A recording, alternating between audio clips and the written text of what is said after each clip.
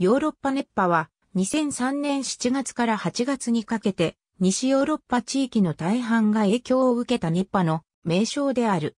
この熱波による高温は7月から8月に顕著に現れ、1540年以来の記録的な暑さとなった。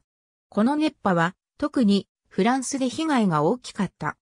また、数カ国で健康危機をもたらし、南ヨーロッパの一部地域では干ばつの影響もあり、農作物不足となった。この熱波による死者は7万人を超えるという推定がある。2003年7月20日から8月20日の気温と平均気温の差パリの公共標識。熱波によるパリ人の犠牲者情報については次の番号で電話してくださいと書いてある。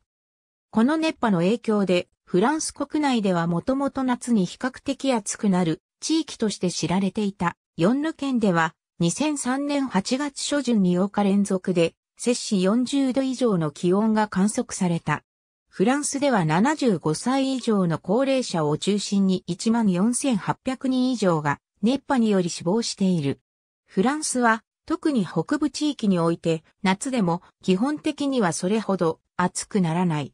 このことが人的被害が大きくなった原因と考えられている。というのも突然の熱波に襲われたため、ほとんどの人が脱水症状に陥った場合の対応ができなかったこと、多くの住宅や施設に空調が備えられていないこと、自然災害や人災による緊急マニュアルが策定されていても高温は対象外であったことが挙げられる。この熱波をきっかけに、フランス政府は全国熱中症警戒情報システムの開発が決定された。ポルトガルでは2007人が熱波により死亡している。2003年8月1日には夜間でも摂氏30度以上の気温となり、ここ数世紀では記録的な暑さであった。同日には森林火災が発生し、白っ湖もあり、炎症を招いた。この火災では18人が死亡した。ヨーロッパで暑い都市に数えられるアマレレジャは、摂氏48度の気温が観測された。オランダでは1200の2200人が熱波により死亡した。8月7日にリンブルフ州のアルセンで摂氏37.8度の気温を観測した。翌日も摂氏37.7度、8月12日にも摂氏37.2度の気温が観測された。スペインは2003年に3回の熱波が押し寄せており、夏全体で見ると4万人以上の死者が出ている。ある報道では、死者は約4200人としているが、国連国際防災戦略では死者は141人となっている。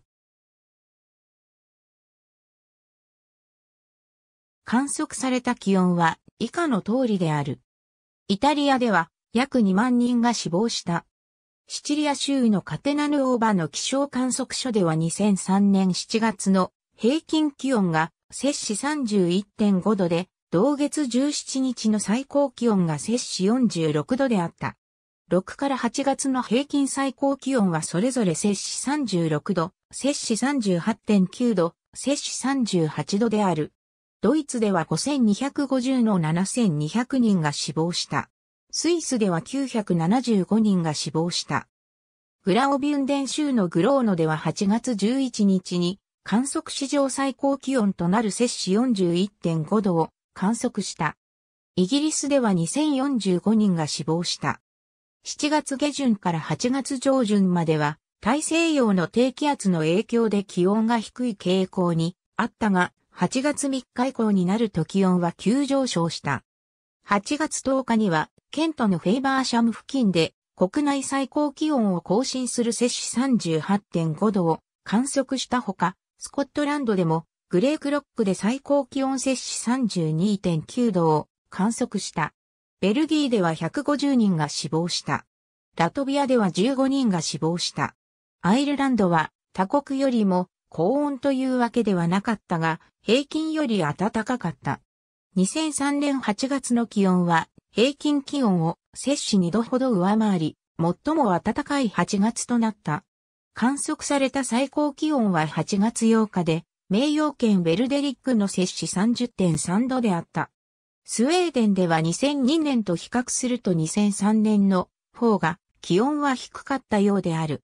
スウェーデン南部のルンドでは8月平均気温が摂氏23.9度と高めであったことから少なくとも熱波の影響はあったようである。南ヨーロッパでは干ばつもあり、農作物収穫量の減少が見られた。欧州連合の被害額は合わせて130億ユーロと推定され、中東欧10カ国の被害額は合わせて6億ユーロを超えている。以下は小麦の減少した割合を示している。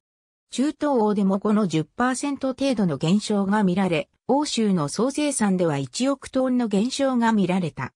ブドウも熱波の影響を受け、早く売れ、水分量を少なくさせた。一部のブドウ園は最適な糖度になり、アルコール度数12から12.5%のワインが予想される。雨に備え、収穫は早めに始められた。この高温は地中海の海面温度と電流上の変化にも影響し、2003年の夏が終わっても続いたという。ありがとうございます。